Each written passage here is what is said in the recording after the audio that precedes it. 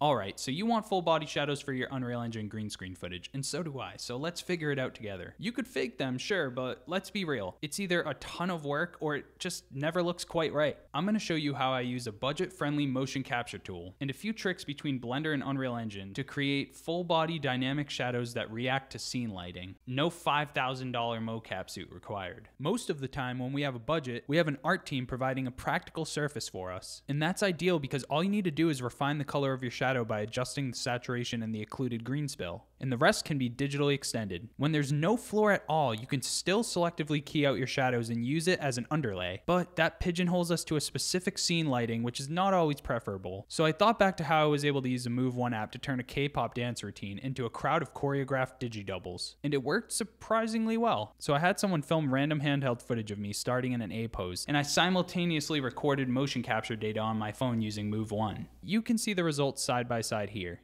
It's important to note that the results will be more accurate if you use Move Multicam, but since this video is just a proof of concept, using Move 1 with a single iPhone will work. Now it is credit based and not free, which kind of sucks, but it eliminates the need for a $5,000 motion capture suit. So it's fair to say I broke even. You can record up to 30 seconds, which is enough for most sequences. I export the motion as an FBX or USD data from Move 1, so I can use it later in Unreal. Then I hop into Blender and track my footage. Once you've reconstructed your camera solve, you can import your pre-keyed sequence as a plane. Now using the Copy Attributes add-on, copy the location and rotation of your 3D camera to your image plane. In edit mode, grab along the local Z axis until your footage fits your frame. Then in object mode, we auto keyframe our footage using only the scale to make sure that it's constantly making contact with our floor. But we want this to work in Unreal, not just Blender, because otherwise the video title would be kind of misleading. So to get this over to Unreal, all you have to do is right click your plane and select Object, Animation, and Bake Action.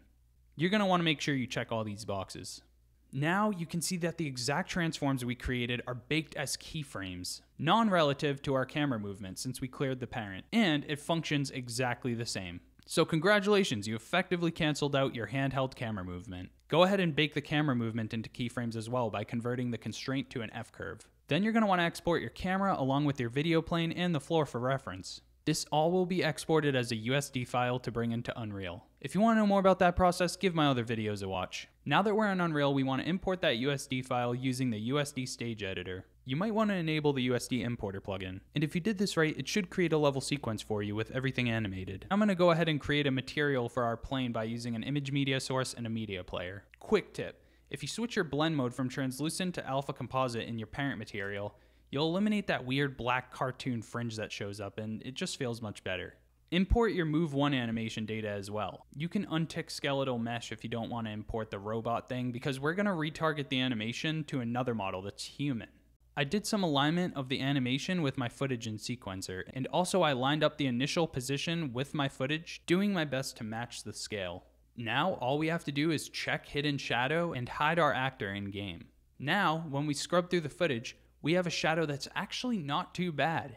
And the best part is, it can be dynamically altered by the lighting in our scene. Considering the other options we have, I think I might be onto something here, and I'd love to see how other people use this technique within their own projects and shorts. If this video helped you out in any way, feel free to subscribe. If not, it's all good, because I'm to keep these fresh ideas coming so that you can do cool stuff, because I believe in you. Peace.